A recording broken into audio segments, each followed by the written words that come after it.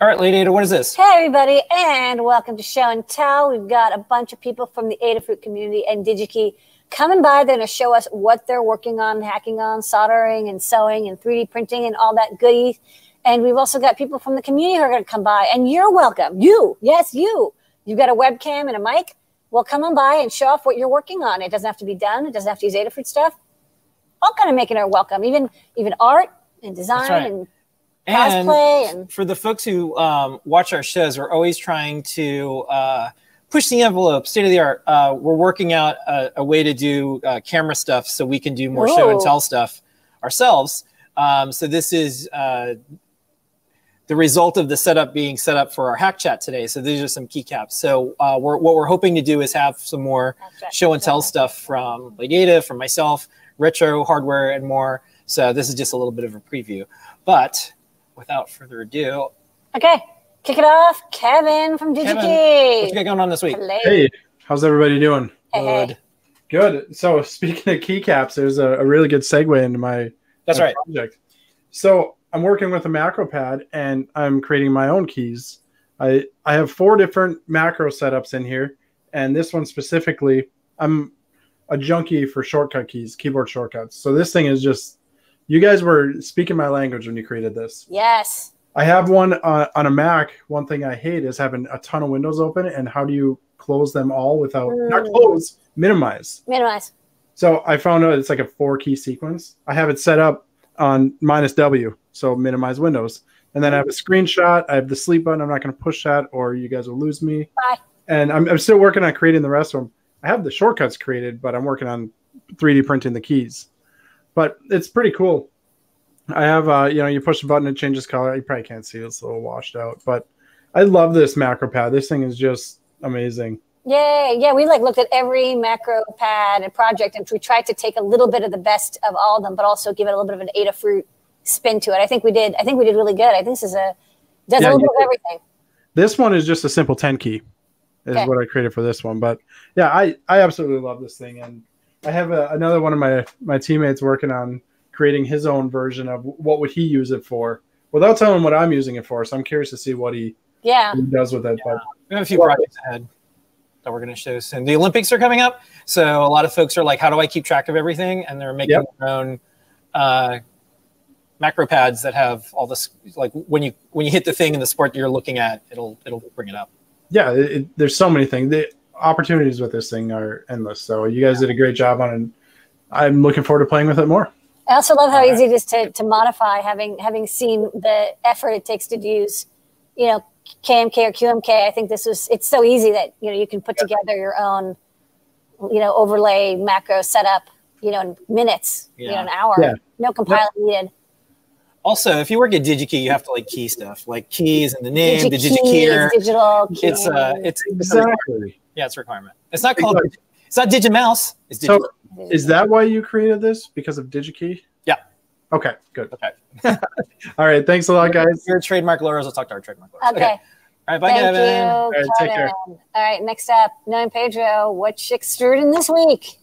Hey guys. Hey, folks. So we got a MacroPad project as well. We're gonna lean over to the accessibility part of this though. So Braille keycaps that you could 3D print. It's got like the most, I think, the most common uh, type of keys you might want to uh, have on here. So it's volume up, volume down, page up, page down, copy, tab to move through different things. But not only that, you also get audio feedback. So hopefully it doesn't get any move any of the windows here, but you can kind of hear the little speaker on there. Yeah. yeah. So you can tell the difference. Yeah, so if you're like learning Braille, you get that extra uh, layer of feedback in addition to. I to also think just it's like maybe it, it tells you it actually did it, or because you you know if you have overlays, the overlay might change. But I thought like even though it's just a tone, I always like having speakers on our designs, so it's not just visual. You can always have audio feedback. I I respond better to audio than visual feedback. To Yeah, know yeah. something I think it's harder to use a, like a, a virtual keyboard unless you can hear a clack, clack, clack. yeah, So yeah. I feel like though- it's, it's like good making accessible things just makes better products and better designs, anyways. So I feel like this is a good, this is a good exercise. Yeah, and hopefully we're going to get uh, you know wave playback working fin- fixed up soon, and then we can of course play little audio clips too. That'll be fun. Yeah.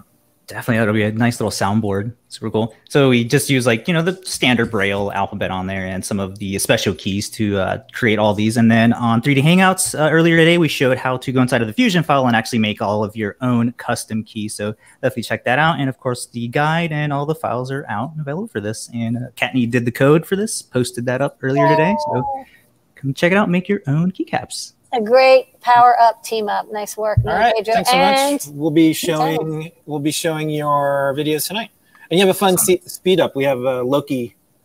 Oh yeah, is it Loki Gator? Yeah, That that's was, right. my, There it is. that was my, my request. Thank you. You- Oh, you didn't do a Ah. color. Oh, it's so cute. Oh yeah, wait. Oh yeah, yeah. Hold up, hold up, hold up. cute. That's cute. Yeah. Everybody likes Loki. I just want a Thanks, Okay, see you later. Next up, Scott. What you got going on, Scott? Hello. Uh, I just wanted to do like a quick uh, plug for the the release that Dan just did, CircuitPython Alpha 5. And uh, for those of you, I brought, uh, I just got one of these. I think I got it from DigiKey. This is the Arduino Nano RP2040 Nano Connect or whatever order they're in. Yeah. Uh, sh- shout out to Blitz City DIY who made the CircuitPython board definition. Uh, unfortunately, the flash chip they have on there doesn't actually tell us what size it is, and so it was falling back the, to the default size. So if you have one of these and it has a one megabyte uh, file system on it in Alpha 5, I just fixed it, got it in today. Um, but if you have one of these, back up all your files and then do the import storage storage.erase file system, and you should get the 15 megabyte file system after that. Um, so that's one of the many fixes that went into Alpha 5. We're like trying to buckle down and get uh, all the way out to s- 7.0 stable. So keep an eye on that. All right. Yay! Thanks so I'm much, so Scott. excited. And uh, deep dive this week, right? Deep dive this week. Uh, and thanks to Jim for uh, joining last week's deep dive. Uh, one of the MicroPython developers went deeper than we've ever gone on a deep dive, uh, Oh, wow. right down to x86 assembly. So Whoa! Uh, it's very cool. Jim is awesome, and So Damien is awesome as well. So uh, thanks again to Jim for being on that. And check that out. It's not just the same old, same old. Last week, at least. I love I love the 7.0 release. There's so much good stuff is in it. I love that we're catching up and starting to contribute a lot more code back to MicroPython. It's easier to do Yeah. cross-platform The contributions. great merge has happened. So cool. So yeah, it's fun, and uh, that just reminded me. I have to email all the MicroPython folks. We'll probably do another team meeting uh, with them as well, which has been really fun. It's so weird to like. It felt like a, a, a team at work where it's like, oh, these people work in the same code as we do and think about the same thing. So it's great to be working closer with them. neat. This is like this is like the open source software and hardware dream. Isn't it? I think so. Yeah, I- I think- at least I'm living the dream. Well, I think with open source projects, people um, they're aware of like forks and they're aware of like you know name changes. Like there's a lot of Mhm. things that happen in news, but you don't hear about the success stories Right. of, of doing open source uh, with a bunch of people. Maybe not all at the same time, but I think this is a good example. Like there's uh, different goals for the Mhm. different projects, but there's a shared code base and like a shared desire and values and goals, Right. and it's all starting to come together. took a while, but Yeah. here we are. And if folks are interested in that, I'll plug the Talk Python to Me episode that I just did with Damien as well. So that's really interesting. For those who are interested in this dynamic between CircuitPython and MicroPython, check that out as Yeah. well. We're gonna have uh, that in our Python on hardware segment on Ask an Engineer, which was in the newsletter, which you uh, sign up for on Ada for Yeah. Gamer, by the way. All everybody. right, thank you, All right, thanks, Scott. Next Thank you. Jeff, Blair, Jeff Epler. what you got going on, Jeff? Hi. Uh, so, like a lot of people, I was intimidated by this 30 key monstrosity. so, I don't even know what I'm going to do with it yet. Uh, but what I did do was create this 3D printable kind of backbone that supports a feather and the macro pad itself so that you don't accidentally snap it apart and you can set the whole thing on your desk. is a quantum computer. uh, yeah, sure. It's a it's a quantum computer. It's Yeah. you know running rainbows as you do. That was easy enough. Um, but yeah, so I dropped the 3D printable files in the Discord. If you're interested in making one, you just need to add some of the M2.5 heat set inserts and use some uh, screws to fasten everything on, and then it's nice and stable. And yeah, as soon as I figure out what to do with it, I'll actually do something. So ideas welcome. Um, someone had mentioned that the macro pad looks like the co- computer from Quantum Leap. Quantum Leap. Sure. And then, and then And Phil one- made me that- watch Quantum Leap, which was actually pretty good. I didn't, I didn't mind You it. missed it, huh? Yeah. Yeah, it was One of his it has a long age. We're not going to watch know? all of them. There's a lot of them. I'll tell you though, I Yeah. really loved Airwolf. Airwolf as a kid. That was like the that was like the weird kind of tacky '80s show. That But I the, into. um, Yeah. All right. I'm getting my God. insights here. But There's your, but your project looks like if, you know, people, if Ziggy kept going, like this is Ziggy Yeah. Max, Ziggy Pro, Ziggy Extreme. I feel like this is making me think of something from Star Wars, but I'm not sure exactly Yeah. what. It's Just like that, the, the white and white- red. It's the red. it's, It's, the like Vader plate. It looks like a 70s Maybe, computer. Yeah. It could also be the Buck Rogers um, style stuff. To, anyways, we can talk about it all day. All All right. right. I think thank somebody should so- definitely make it like a Darth Vader costume, but like his chest plate's a synth, and you can go and you can like, Play Darth Vader. Yes. boop, boop, I'm worried that this has already been done. Mm, probably. It's like when you Google for something, it's like it's already in there. Yeah. There's whatever whatever's after Rule 34, which is here's a cosplay that has been done at Yeah. Dragon Con. All right. Well, thanks, Jeff. All right, thanks, Jeff. See you later. All All right, next right, up. Tim. Fun guy. What you got going on? Hey. Hello. All right, so uh, my project actually is inspired by Jeff's project from last week. Jeff showed off uh, the calculator that he's been working on, and this is uh, kind of an opposite opposite take on that. So it will give you math problems, and your uh, it's your job to solve them. So it's uh, it will print out the problem there, and if you get it correct, then it will give you a nice green uh, sweeping animation, uh, and if you get it incorrect, then it will give you a red sweeping animation. And then I also built in some settings so you can turn on and off uh, the different types of problems, and you can change the numbers so you can uh, kind of make it easier or harder based on what your level of uh, of math is. Uh, and then I'm working on 3D printing the caps. These are the same caps that were in uh, Jeff's calculator, but I'm experimenting with dropping like nail polish uh, and maybe paint or something like that in there to make the the contrasting colors instead of uh, different colored prints. I like that look. It reminds me a little bit of like we know when when I saw people etch acrylic with a laser cutter and then you sharpie over it and then you wipe away the sharpie and it leaves like a very nice Yeah. um, etched. You know, it looks really good because it's the the paint is kind of embedded inside. But that's I really like that eight. yeah. That's a fancy eight. So that's Thank you. cool. All right, nice work. This is really Yeah. good. The Thank you. yeah, the thing that's Can you can you sand 3D prints? Like, could you Yeah. paint it and then yeah, sand people do away? that all the time. Yeah. All right, that can be whatever. Yeah, this is neat because it, the the one of the goals is to have um, a whole series of things that people can build, and now we're up to like calculator, Yeah, make your own keyboard, make your own phone, make your own camera, yeah, stuff like that. All right, Tim. Well, thank you so much. nice Yeah. work. Thank you. Yep. Next up, Andy. Andy. How is it going, Andy? Hey, what you got going on this week? Hey, I've got a device I made called Unitron, and it's for Ooh, doing live conversions between units. It's a keypad with a ooh, display, It's keypad night. ooh. and so if you turn it on, uh, so right now it's on inches and millimeters, and so the top, the blinking, uh, is the input, and so you can switch the input by toggling this switch. Oh yeah. So I can do like 20. This is what to do. Ah, this is cool. So that's- This is a good idea. 21.6 inches is 548 millimeters, but what if I wanted to do millimeters inches? I just switch it real quickly. Ah. And Nice. then I can do feet and meters, miles, kilometers, pounds, kilograms, Fahrenheit, and Celsius. And then, That's then, cool. yeah, and then it's, so I've got, it's powered by uh, AAA batteries, got magnets on the back so you can Oh stick yeah. it on the fridge when you're, you know, always trying to convert between inches and millimeters in the kitchen. Yeah, And uh, common. Yeah. got a I like your little subplate for the for the for the display. yeah, thank you. Cool. All right. Yeah, got mechanical I, I kind of love to- this. It's, it's so it's it's kind of got a little bit of that um, steampunk thing. It's just like, and here is my contraption. It will convert any unit is, to this, any is a, unit. this is a very this is a very American problem with a very American solution. This is a very like yeah, it's kind of a problem. Um, Good work. Nice work, Professor you. Andy. All right, thank you so much, Andy. All right, next up we're gonna go Seth, and then we're gonna go to Joey. Hey, Seth. what's going on? Hey, I have my son here too. Um, so Hello, fellow engineer. I have been experimenting with boards like crazy, and I made this little matrix board. Don't know if I have one on mine.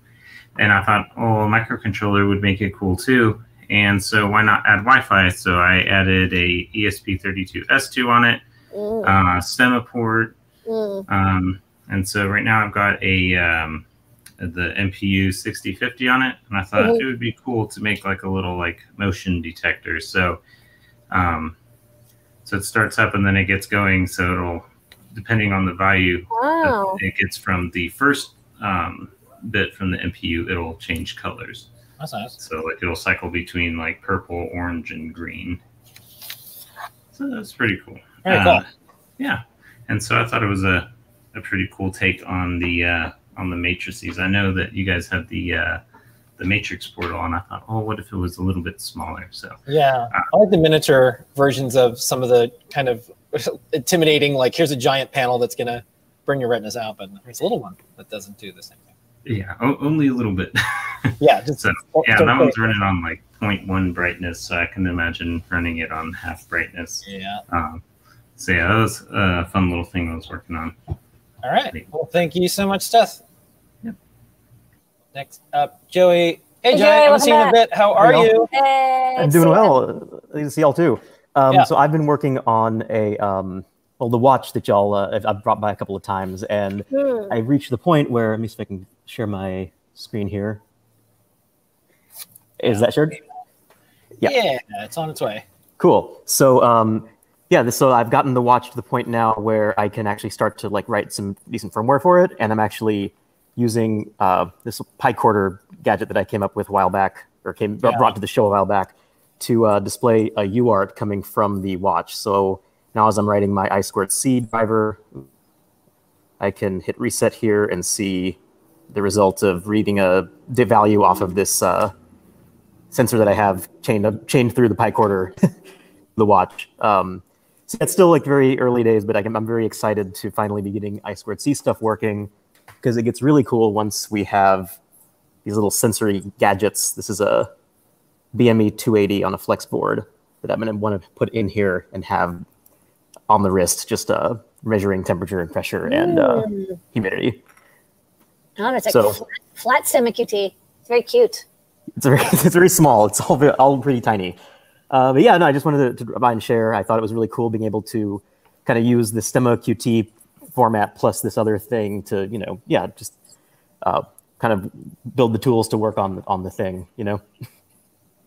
So tiny. That's All right, awesome. thank you, Joey. Always Thank you so making cool hardware. And Thanks, at some point, um, I have this. Uh, so I, my to dos are like sometimes in my inbox, and then sometimes are in my drafts, and then sometimes are in you know where I keep track of all the stuff. The make the ebook, they, make make your book is still in there, so we're still gonna make it. I just don't know when. Totally. It's it's, it's been a strange year for a lot of reasons. Yeah. So I think But you're back. On, you're back on the East Coast now, right? I am, yeah. Okay, great. So we're here. We'll figure it out. Yeah, now's a good time to redesign because, of course, now there's a silicon shortage. So just you might want to design it for a chip that's available. I actually made maybe. I, I raspberry, um, yeah, I made a Pi Pico version, uh, which is not Feather compatible, but uh, but I'm also like brainstorming an E ESP32S2 version that would Yeah. be yeah, the, Feather the compatible. So ESP32 S2, it seems to be we can kind of get them, and the RP2040 we can kind of get them. I'll say the SAMD51s. I'm not getting any for like a year and a half. Yeah. yeah, that So seems like if a you want to, if you want to finish this within another year or two, um, you know, but it's easy to redesign it because it runs Circuit Python or Arduino. Totally, You yeah. can just swap out a different chip. So that's some some some hints for you. I mean, I can't predict the market, but right now those are the two things I seem to be Yeah. able to get. Right on. Good, So good if to you know. want to spin that up, we'll be able to Yeah, definitely do not it. use an STM chip at all. If anything with STM in it, you can't get them. We do not Yeah. get access to them. Well, thanks for the All right. pointers, y'all. yeah, thanks so for having me. Joey, on. and All we'll right, see you thanks, soon. Joey. All right. All right, everybody, Super that is sweet. our show and tell for the week this week. Thank you so much for being part of it. This is the best half an hour of our lives pretty much every single week. Yeah, Uh, it's come, fun seeing people, friends, come Yeah. by. um, come on by uh, every single week, 7.30 p.m. Eastern Time. Ask an Engineer starts in about 10 minutes or so. See y'all next week. Bye, everybody. See you in 10 minutes. Bye-bye.